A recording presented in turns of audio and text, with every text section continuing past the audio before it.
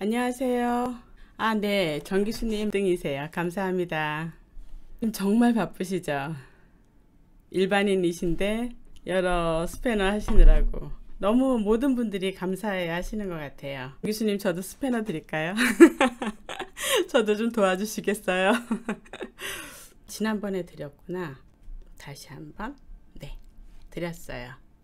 채널 운영자이십니다. 감사합니다. 이거 우리 집 닭이에요. 우리 닭 여섯 마리 키우는 거 혹시 아시나요? 음, 저거는 지금 계란 하나 제가 지금 가지고 오고 있는 중이고요. 요즘에는 평균 한 3개에서 4개 낳는 것 같아요. 지금 저것은 쌀을 제가 불려서 주는 거예요. 우리 집 닭들은 이름이 다 있어요. 꼬왕이, 꼬순이, 꼬모, 꼬영이, 꼬비니, 꼬리니. 꼬리니는 맨 막내라서 꼬리니라고 지었고요. 그래서 요즘에는 저희는 계란 안 사 먹어요. 아, 네. 서금목 색소폰님, 네, 안녕하세요. 새해 복 많이 받으세요. 인사하고 들어오셨어요. 자, 그러면 이제부터 제가 사연을 읽어 드리겠습니다. 제목, 왜 영화에 나이 제한이 있는지 이제야 알겠네요. 라는 글입니다. 어렸을 때 본 영상물들 생각보다 인생에 많은 영향을 미치는 것 같아요.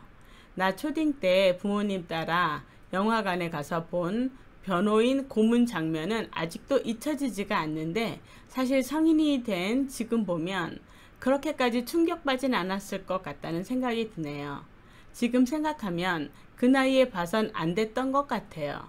그거랑 숨바꼭질도 개봉 당시 가족이랑 초딩 때 보러 갔는데 그것도 내 정신건강에 진짜 안 좋았어요. 그냥 너무 어릴 때 봤으면 안 되는 영화였는데 내가 멘탈이 약한 건가요? 영화 감기 보고도 하루 종일 일상생활 불가였고 잠도 못 잤네요. 왜 영화에 나이 제한이 있는지 알겠고 진짜 그거 철저하게 지켜야 하는 것 같습니다. 그런 내용으로 사연이에요. 제가 첫 번째 댓글 읽어드리겠습니다. 땡땡님의 댓글.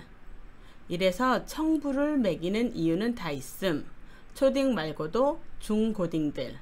본인은 이제 다큰것 같고 웬만한 잔인한 거, 무서운 거, 야한 거 등등 자극적인 내용 다 볼 수 있다고 믿는데 뇌에서는 아니라니까. 아직 덜 자란 거야.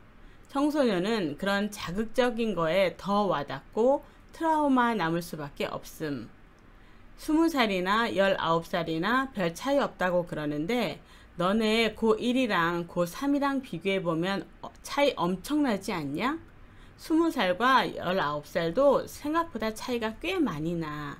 그러니까 청소년일 때 함부로 막 청불 찾아서 보고 그러지 마. 이런 답변이셨어요.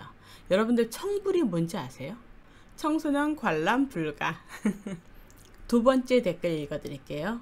근데 요즘 넷플릭스가 뜨고 있어서 오징어 게임 같은 청불 드라마 초딩들 유치원생들도 봐서 난리더라 라는 게 두 번째 베스트 댓글이었어요. 그런데 이 청소년 관람 불가를 우리가 보고 있는 청소년들이 있다라는 게 첫 번째 문제점이고요. 두 번째는 또 뭐냐면 어른들이 자기랑 보면 괜찮다고 생각을 하는 거예요. 부모님들이. 어, 나랑 보니까 괜찮아. 뭐가 괜찮은데요? 이거 심각하더라고요. 제가 또 다른 댓글 읽어드릴게요. 난 키즈 카페에서 알바하고 있는데 5살에서 7살 애기들이 막 오징어 게임 엄청 얘기하는데 등장 인물부터 번호도 알고 내용 어디서 누가 죽고 누가 우승하는 것까지 다 알고 있더라. 애들끼리 안에서 무궁화 게임 하는데 움직이면 바로 총 쏘는 흉내내고 쓰러지는 척하고 엄청 충격적이었음. 내가 어떻게 하냐고 물어보니까 집에서 엄마 아빠랑 같이 다 봤다고 함. 이게 댓글이었어요. 제가 또 다른 댓글 읽어드릴게요. 맞아. 나 초등학교 3학년 때 학교에서 태극기를 휘날리며 영화를 보여줬는데 거기서 폭탄에 달이 날아가는 거랑 머리에 총을 쏴서 뇌가 바발처럼 떨어지는 장면 보고 집에 가서 잠도 못 잤음. 이런 댓글이야. 왜 선생님들이 학교에서 이런 잔인한 영화를 보여주고 계실까요? 우리 어른들은 왜 이 오징어 게임 같은 잔인한 영화를 아이들과 함께 보고 있는 걸까요? 어떤 분의 댓글입니다. 난 어렸을 때 본 초창기 코난도 너무 무서웠음. 그쵸? 여러분들 코난 좋아하세요? 전 굉장히 좋아했거든요. 요즘에는 거의 잘 안 보는데 어쨌든 코난 영화도 되게 만화 영화고 어린이 영화인데 좀 무섭죠. 끔찍하고 잔인하고 그런 장면들도 굉장히 많고요. 또 다른 댓글 읽어드릴게요. 특히 성폭행, 고문 같은 문제가 조금이라도 나온 영화는 정말 충격적으로 느껴지는 이유가 초등학생 땐 학교 사회 시간에 이상적인 내용만 배우는데 실제 세상은 그렇지 않아서 더 그런 것 같아요. 어른이 어린 아이를 성폭행하고 나라에서 운동권 학생을 고문하는 그런 끔찍한 일들이 실제로 일어나는 일들이라는 걸 받아들이기가 힘들었어요. 라는 내용입니다. 그 다음 댓글 읽어드릴게요. 잔인하고 폭력적인 거 말고 야한 것도 크크. 지금 성인인데 어렸을 때 그런 걸 너무 많이 접해서 그런지 쉽게 생각하게 되고 지나치게 개방적으로 생각하게 됨이라고 댓글 남기신 분도 계셨어요. 좀 심각한 댓글인데 제가 가져왔어요. 왜냐하면 우리 모두 알아야 될 것 같고 그리고 혹시 여기 계신 남자분들도 경험하셨을 것 같고 그리고 우리 자녀들이 지금 겪고 있고 고민하고 있는 부분이라서 제가 가져온 댓글 어, 제가 용감하게 읽어드리겠습니다. 여덟 번째 댓글입니다. 나만 그런가? 나 야동을 너무 빨리 접했단 말이야. 초3 때 실수로 봤는데 그 다음부터 미쳐가지고는 어떻게든 유튜버, 테이, 트위터 뒤져가면서 야동 보고 혼자 하는 법도 찾아서 초4 때부터 그 짓 하기 시작했음. 근데 초딩 때 중독돼서 무슨 거기에 미친 사람처럼 하루에 네다섯 번씩 하고 그랬어. 지금은 안 그러는데 진짜 어릴 때 음란, 잔인한 거 보면 안 될 것 같음. 이런 댓글이셨어요. 정말 충격적이지 않나요? 우리 어른들이 이거 정말 조심해야 되고 우리 자녀들 관리가 많이 필요할 것 같아요.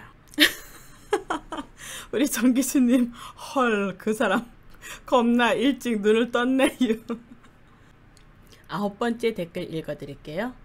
난 요즘 유튜버 웹툰들 진짜 문제가 있다고 생각함.